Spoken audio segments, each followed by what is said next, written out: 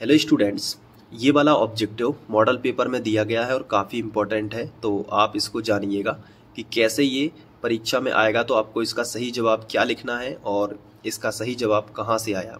देखो 12 मीटर ऊँचे खंबे की ज़मीन पर पड़ रही छाया की लंबाई चार करणी तीन मीटर है, ठीक है? सूर्य का उन्नयन कोण कितना है, ये हमें बताना है। तो देखो, इसको ऐसे करेंगे कि 12 मीटर ऊँचा सबसे पहले खंबा बना लेंगे। तो मैंने इस तरीके से यहाँ पे बना लिया। ये 12 मीटर ऊँचा खम्बा है। बहुत ही ध्यान से समझना।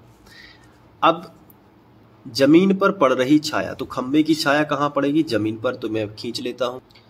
ये देखो, इस तरीके से मैंने खींच लिया। तो ज़मीन पर पड़ रही छाया की लंबाई इन्होंने दी है चार करणी तीन मीटर। तो यहाँ पे मैंने लिख दिया चार करणी तीन मीटर। तो सूर्य का उन्नयन कोण क्या होगा? तो उन्नयन कोण हमें निकालना है तो हम इसको भी मिला देते हैं। इस तरीके से हमने मिलाया और ये हमें ठीटा पता करना है। तो देखो, ये लंब है और ये आधार है, आप सभी जानते हैं। तो टेन थीटा का फॉर्मूला लगा देंगे। टेन थीटा बराबर क्या होता है? लंब बटे आधार, यानी बारह बटे चार करणी तीन। तो चार तिया बारह, तीन से कैंसिल हो जाएगा। तो टेन थीटा बराबर कितना होगा? तीन बटे करणी तीन। तो अब तीन को क्या लिख सकते हैं? तीन को लिख सकते हैं करणी तीन इंटू करणी तीन, क्योंकि इनका गुणा करेंगे तो तीन ही आएगा। और बटे में क्या है? करणी तीन। तो करणी तीन से करणी तीन कट जाएगा। तो टेन थीटा बराबर कितना बचेगा? टेन थीटा बराबर केवल बचेगा करणी तीन। अभी यहाँ से टेन थीटा हमने जो कहते हैं लिखा, लेकिन जो करणी तीन है ना, टेन के किस मान में कर्ण तीन आता है? तो ये आता है टेन साठ के मान में। तो टेन साठ लिख दिया।